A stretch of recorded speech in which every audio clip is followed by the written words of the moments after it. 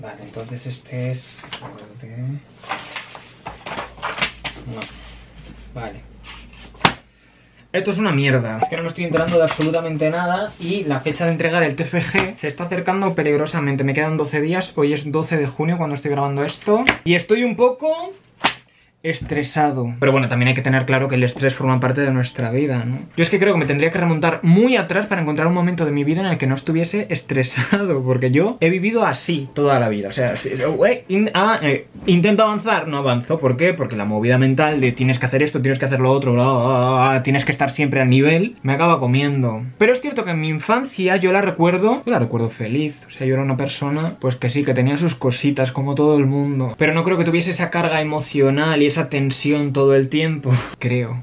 Hace unos días terminé las prácticas en un colegio y me di cuenta de que ahora se lleva muchísimo unos juguetes que son antiestrés. A lo largo del curso han ido variando, eso sí, pero todos tenían el mismo objetivo. Me sorprendió muchísimo ir a donde una niña y preguntarle ¿Y ese juguete para qué sirve exactamente? Era una cosa así, muy parecida al típico plástico de burbujas que explotas para desestresarte o simplemente para pasar el rato. Bueno, pues se podían pasar 6 horas dándole vuelta, casi para abajo, casi para arriba, casi para abajo, casi para arriba. O sea, una tontería gigante. Pero a ellos les también tenían de estas cosas que se aplastan y luego vuelven a su forma normal. Una movida, o sea, una movida. Y cuando yo le pregunté a esa niña que para qué servía esa cosa, me dijo, para desestresarme mi cara fue un poema, claro, porque yo estaba pensando, vamos a ver, que tienes nueve años, tienes nueve años, ¿qué es exactamente lo que te está estresando en este momento? Y luego yo mismo caí en la cuenta de que precisamente mi planteamiento sobre su problema era lo que a ella le estaba estresando. Porque para mí la infancia es como un proceso en la vida en el que todo está bien. Todo está bien, no hay ningún problema, no hay nada, nada. Pero no, claro, porque yo en mis tiempos, en mis tiempos estoy hablando como si tuviese 95 años, tengo 25. Yo en mis tiempos, cuando yo tenía 10, Yeah. 11 años, quizá no me sentía comprendido por la gente que me rodeaba, pero sí que me sentía comprendido por mis referentes. Las series, las películas, la música. La música infantil de antes hablaba al niño, ¿no? Le decía, mira, eh, estoy pasando exactamente por lo mismo que estás pasando tú y te comprendo. Uno de estos días en los que hemos tenido clase me pidieron poner canciones, ¿no? Y ellos me decían que pusiese canciones como Tu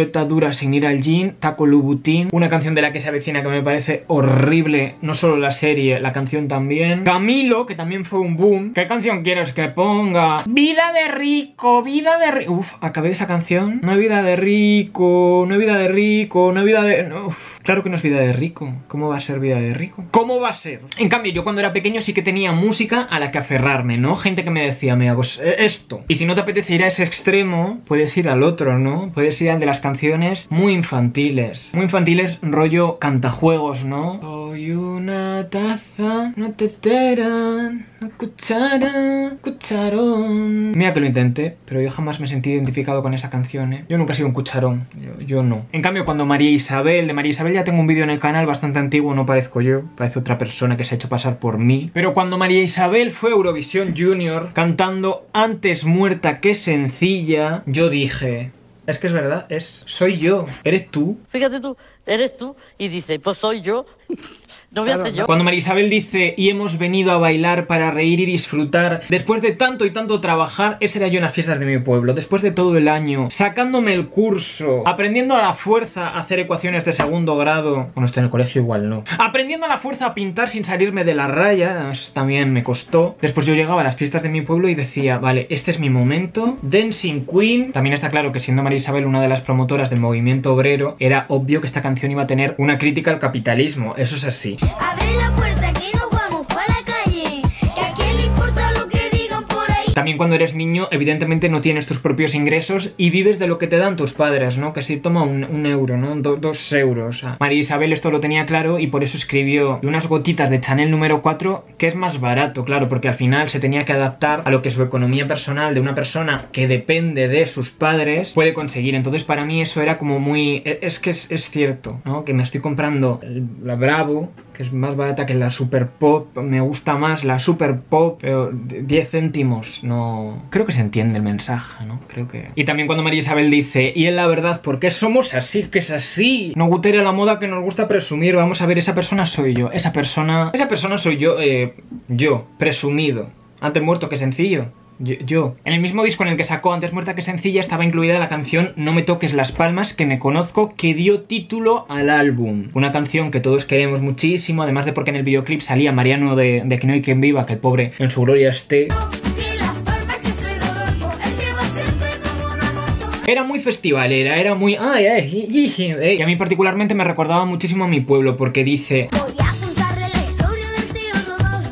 que es un personaje del barrio muy particular, vale, precisamente mi tío no era la persona de la que de la que yo imaginaba que iba esta canción, pero siempre en los barrios hay una persona que tú dices, esta persona no estaba, esta persona está cucú, esta persona ya hace años que voló. Pero claro, tú desde la inocencia infantil realmente no sabes lo que le pasa, ¿no? Entonces María Isabel lo describía de una forma que me parece bastante curiosa y muy bonita, ¿no? Siempre acaba con la lengua toda trabada que casi no se le entiende nada. ¿Qué le estará pasando a esta persona? Claro, tú vas creciendo y ya te vas dando cuenta de que esa persona probablemente estuviese bajo los efectos del alcohol todos los días, claro. El tío Rodolfo además sabemos que es una persona muy irascible, ¿no? Es posible que la gente le quisiese llevar a rehabilitación, alcohólicos anónimos o lo que fuese, y él decía, no me toques las palmas, que me conozco. Esto probablemente estaba censurado y lo que el señor decía era, no me toques los cojones porque estoy hasta los huevos de ti. Eh, puede ser. Pero sin duda mi canción favorita de María Isabel es Mira Niño, un éxito. Es que de verdad, un hit de las mejores canciones que se han escrito en la historia de la música en español y no en español, eh, en general. Es que esos primeros acordes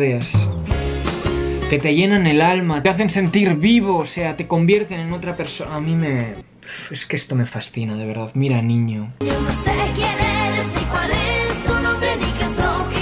que estas frases, si las cogemos y las sacamos de la canción, se pueden interpretar de diversas formas, ¿no? La principal para mí, cuando yo escucho decir a María Isabel, mira niño, yo no sé quién eres, ni cuál es tu nombre, ni qué es lo que quieres, y aún así estoy hablando contigo, ¿no? Aún así te conozco, aún así lo que sea. Pues es que los niños, cuando se ponen a jugar en el parque, yo recuerdo que yo jugaba con todo el mundo. Llegaba alguien al parque y decía, mira, un escondite, un es... Eh, mm, Sí. Yo era así, yo era una persona muy sociable y a mí me gustaba muchísimo jugar al escondite. Entonces, pues, entre que vivía en un pueblo muy pequeño en el que no había ni Dios y que yo quería siempre jugar al escondite, pues en cuanto llegaba alguien al parque decía, eh, ¿quieres ser mi mejor amigo para toda la vida? ¿Qui- ¿Quieres? Si quieres juega conmigo al escondite, ¿eh? Si quieres, sí. También en la canción La vida es bella, ella decía una frase que es como muy de la- desde la perspectiva de un niño hacia la madurez, hacia la adultez. Hay que ver Yo no lo puedo creer, es que no lo puedo creer. No lo puedo creer. La gente, ¿por qué se agobia tanto? De verdad. Claro, así los niños de hoy en día que no tienen referentes como María Isabel están todo el día dándole a la matraca, todo el día estresados. Yo veía a María Isabel y decía, "Pues es que es verdad, es que es verdad, la gente, la gente está mal. Por favor, porque todo mi entorno está tan estresado. Si tienes los chiquilinositos que me encantaban, me los comía a cucharadas y puedes bajar al parque a jugar al escondite, ¿para qué quieres más en la vida? ¿Tanto estrés, tanto estrés? Yo no lo entendía, la verdad. Pero además de María Isabel, de quien no me gustaría obviar uno de sus grandes temazos con una de las mejores letras de la historia de la música, así que al final me lo recordáis y hablo de ello porque yo tengo una cabeza que es que se me va a olvidar. Otra de las personas que nos ayudaron a la infancia a descubrirnos a nosotros mismos fue Diego con su canción Chachi Chachi Piruli, Chachi Piruli, me va, me va. La letra de esta canción me imagino que ya la conozcáis, pero dice lo siguiente.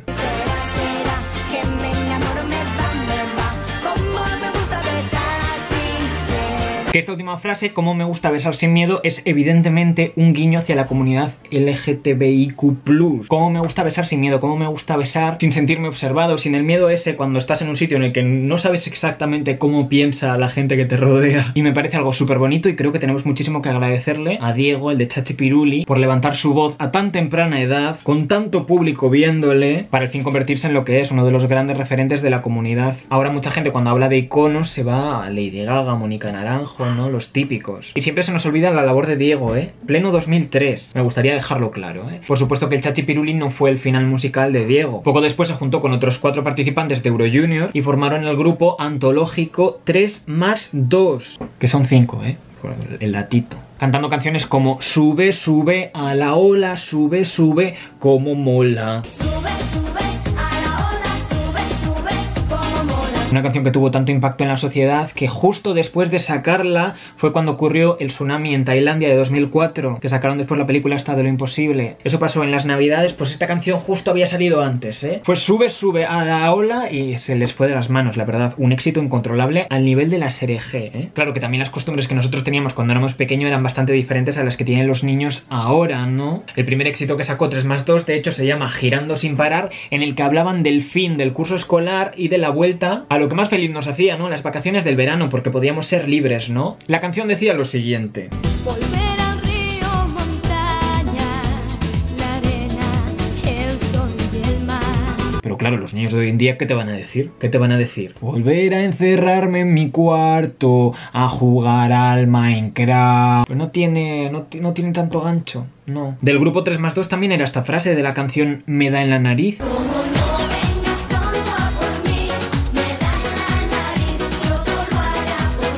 Que yo creo que evidentemente a lo que se referían me da en la nariz. Es que estos niños ya eran bastante adultos cuando sacaron la canción, ¿eh? ya no eran niños. En cambio, otro de los grupos que marcaron a la sociedad de los 2000, especialmente a la infancia, fue... A ver, decidlo vosotros, decidlo. Pues claro, Santa Justa Clan. Y esta reflexión ya la hice en el vídeo que hice sobre Bad Yal, ¿eh? Pero he de reconocer, siendo yo muy fan de Bad Yal, que la voy a ver este verano en concierto y todo...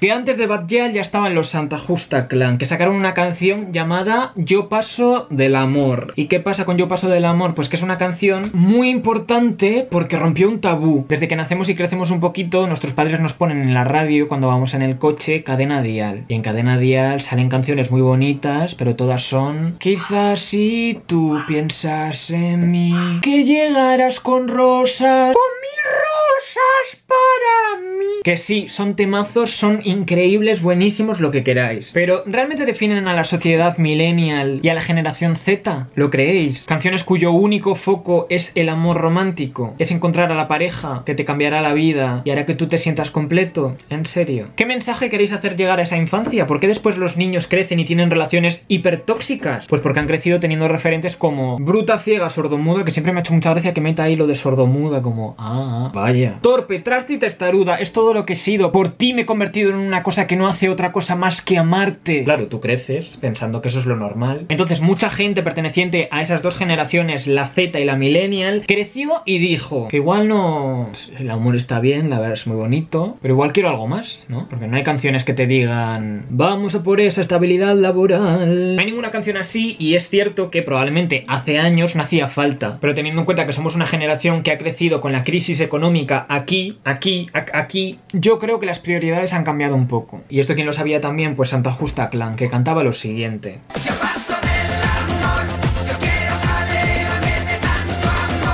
Y me gusta mucho que yo me sentía muy identificado con este grupo porque yo también estaba creciendo en ese momento y me hacía gracia como pillar los mensajes ocultos, ¿no? Cuando el grupo dice, yo quiero cachondeo, solo hablar de amor me pone de mal humor. ¿Qué te pensabas que iba a decir? ¿Qué te, qué te pensabas? Me pone. No, me, po- me ponen no. Y desde luego que se nota que Santa Justa Clan es un grupo un poco más adulto que 3 más 2 porque sus canciones ya tienen ese componente sexual afectivo que en muchas partes es más sexual que afectivo, esto hay que decirlo. pero- Y en la canción que les doy a conocer, que es A Toda Mecha, que es una de las canciones que yo canto y canto y canto cada vez que voy a un karaoke, esa y Bailar Pegados, mis dos greatest hits. Santa Justa Clan decía lo siguiente. Tengo un pantalón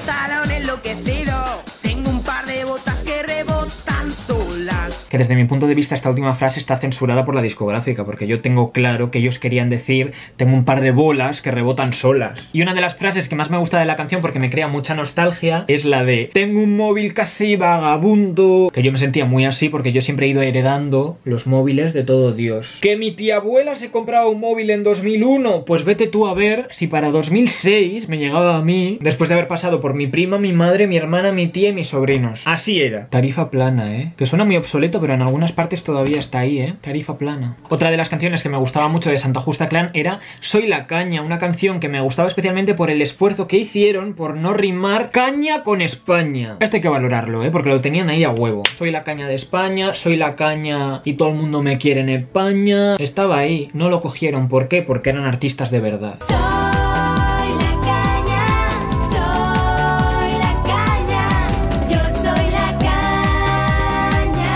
Y es que además TT, la que cantaba esta canción, se convirtió después en un referente, porque claro, en la canción dice, cada vez que echamos un pulso, siempre te gano, siempre te gano. Yes, we can. Aunque también os digo que la parte esta feminista que tenía TT, los demás del grupo no tanto, porque en A Toda Mecha también decían, a toda mecha, a toda mecha, voy a toda mecha, tú no te hagas la estrecha, que se hará la estrecha si le sale de los huevos, vamos. ¿Qué significa hacerse la estrecha? Igual es que no quiere contigo y ya está, boliche, ¿qué pasa? ¿Qué pasa? Y es que a pesar de ser tan jóvenes, algunos de ellos olían a caspita, olían que no. Canción metrosexual.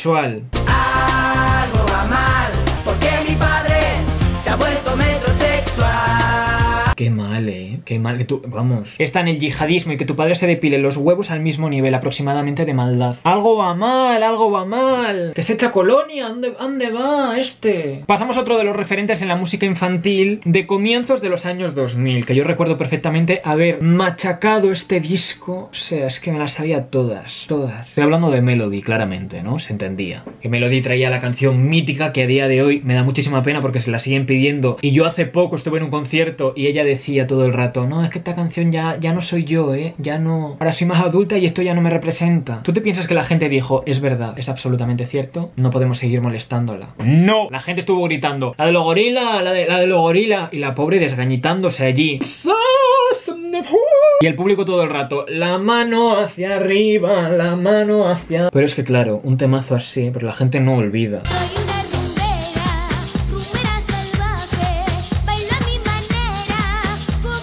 Soy una rumbera y vengo a alegrarte para que tus penas se vayan a amarte. En cambio, por ejemplo, el Don Juan Tenorio de José Zorrilla dice: No hay prior que se me iguale, tengo cuanto quiero y más, tiempo libre, bolsa llena, buenas mozas y buen vino. Que ni te ha rimado ni nada, hijo. Vengo a alegrarte para que tus penas se vayan a amarte, rima. Anda, Melody 1, José Zorrilla 0. Pero la canción cuya letra a mí más me llena el corazón de Melody es, por supuesto, de Pata Negra. De Pata Negra, de Pata Negra, nosotros somos de Pata Negra, una canción es. ah. De Pata Negra, que además de ser una maravillosa canción, es un thriller muy bueno, ¿eh? Cuenta la primera vez en la que Melody y su padre van a Madrid. De repente están por Madrid y se les ocurre decir, "Va- vamos a entrar al corte inglés, a ver qué hay, ¿no? Pues no te imaginas el lío, que se perdieron, que la Melody estaba en la planta 3, el otro en la planta 1.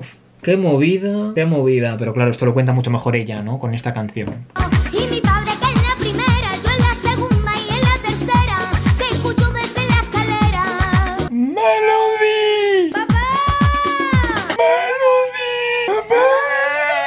Y ya dejando a un lado este story time de Melody, es cierto, yo me he dado cuenta de que los niños de hoy en día son más resabidillos, ¿no? Son más... Al fin y al cabo, están todo el día con el móvil viendo a gente que tiene una super vida, tal, no sé qué, y ya parece que lo saben todo de la vida. Sin embargo, yo recuerdo que uno de mis sueños era tener 20 euros aproximadamente. Con eso ya me daba, ¿eh? Y aunque estoy pensando que puede ser que yo sea la única persona que se acuerde de esta serie, qué temazo.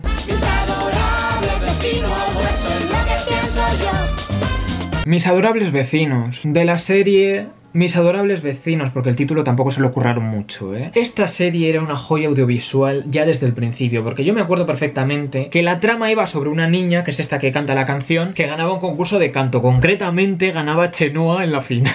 es que esto... ¿Qué maravillas audiovisuales ha hecho este país, por favor? Que sí, que Netflix está bien, pero mis adorables vecinos, por favor. Es que eso, eso era, por favor, esa pazpadilla. Que después de que su hija se convirtiese en una cantante súper famosa, ganó dinero, se mudó a un barrio rico. Y claro, la niña lo cantaba todo con muchísima ilusión, ¿no? Mi sueño es seguir trabajando. Quizá de esa forma pueda conseguir que mis padres tengan todo lo que se merecen. Pero claro, la niña tenía las expectativas bajísimas. ¿Por qué? Porque no tenía Instagram, entonces no sabía lo que se cocía en el mundo de los ricos. Yo como soy adicto a la vida de los ricos porque me veo todos los realities en los que participa gente rica porque me interesa mucho más su vida que la mía, yo ya me lo sé todo, pero en cambio esta niña tenía ilusiones como muy de pobre, ¿no? Su ilusión era vivir en un sitio así.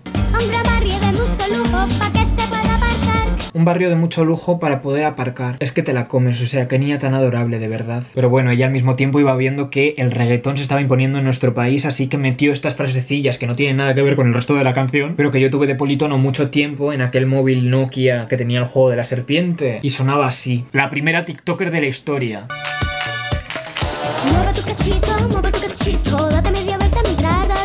Y bueno, pues acaso alguien ha llegado hasta este momento del vídeo, cosa que dudo porque me estoy enrollando como las persianas y el vídeo va a durar 57 minutos, me gustaría utilizar mi plataforma para dar a conocer esta canción que creo que la gente se ha dormido en ella y no se debería. La canción tiene de título Wash His Name y nos cuenta el romance de verano entre María Isabel y un chico procedente de Londres con el cual no se entendía demasiado, así que ella utiliza un inglés como muy españolizado. La canción dice lo siguiente, ¿no? Estando de vacaciones por las playas de Marbella me dijo a mí un chiquillo Welcome to Trebujena y bueno, se enamoran un poquito, él más que ella hay que decirlo y en ese momento ella dice una frase que para mí es gloria de verdad, o sea, es que es una de las frases más importantes que he escuchado en toda mi... es que me la voy a poner en la biografía del Instagram, eh. espera, la frase es esta No me digas Mary, me llamo María Isabel. Que no me digan Mary. Me- Mary quién es, Mary Poppins. Que yo soy María Isabel.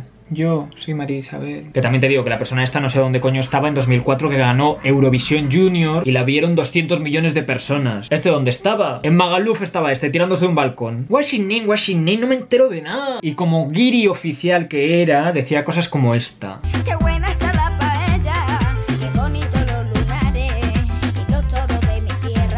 Le encantan los toros a este chico, ¿eh? Menos mal que María Isabel pasó de él. Tú imagínate. Aunque ya cuando estaba acabándose el verano, ella ya le dice cosas como My love to you será.